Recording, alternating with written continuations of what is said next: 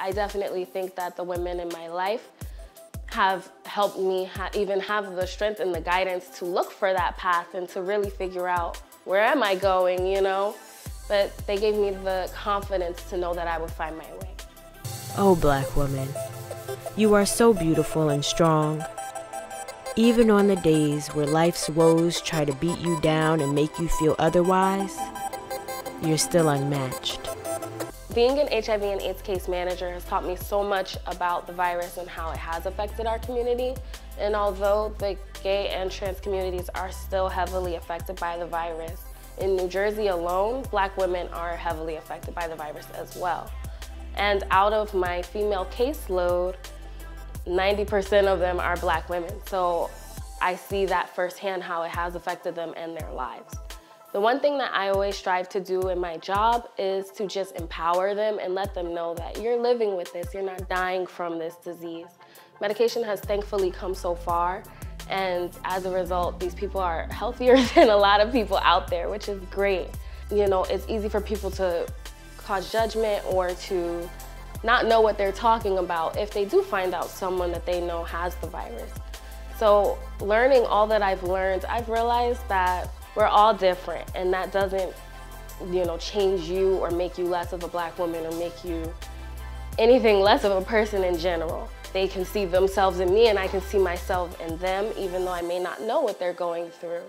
But this job has definitely been very fulfilling because I've been able to play that role in so many lives and it's just been an amazing experience so far.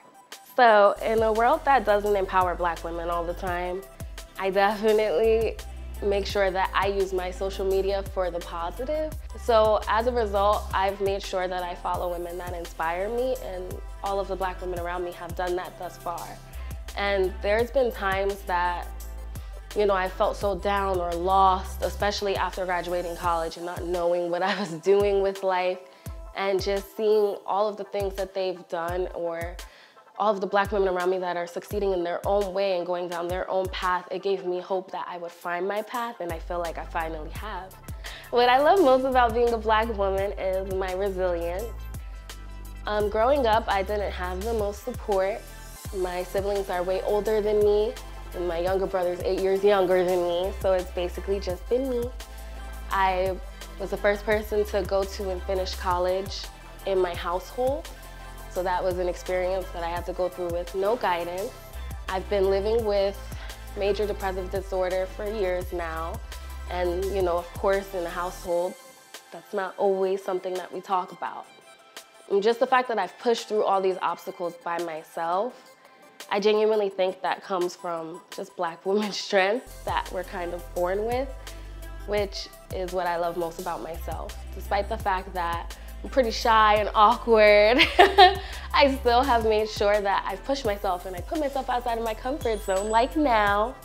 And it's just definitely made me feel like I'm so strong. You know, even the days that I feel weak or the days that I don't want to even get out of bed and do things, I've definitely learned that I can push through.